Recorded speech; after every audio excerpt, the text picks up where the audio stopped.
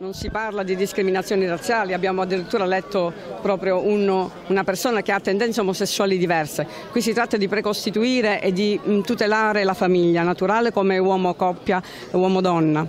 per tutelare, perché da questa mh, tutela nascono delle tutele eh, molto importanti come quella del bambino che eh, non deve essere costruito, eh, prelevato e portato in una famiglia che non conosce, ma deve essere, ehm, eh, deve essere nato, nasce dall'amore che è nato eh, dalla naturalità da, da, che, da, che, è il mondo, cioè da quello che è l'uomo e la donna. Quindi c'è una tutela molto forte nei confronti del diritto del bambino che ha diritto ad essere educato tra un uomo, da un uomo e da una donna, perché quelli sono i principi essenziali della vita.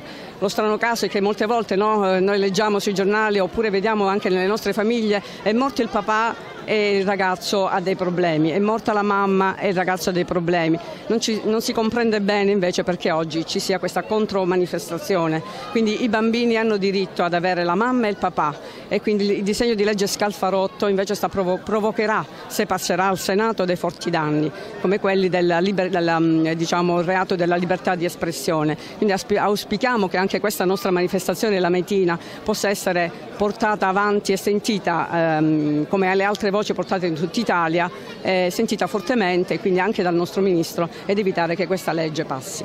Vi ringrazio.